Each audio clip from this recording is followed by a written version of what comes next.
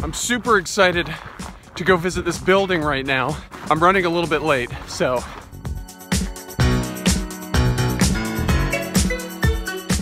Behind me is Union Station, designed by one of my favorite architects and building engineers, Rafael Guastavino.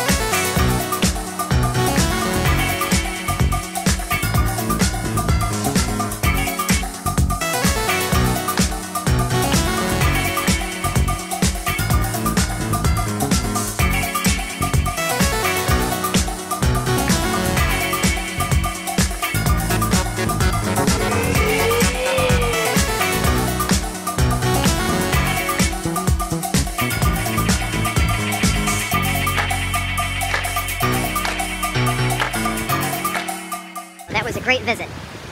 Really enjoyed it.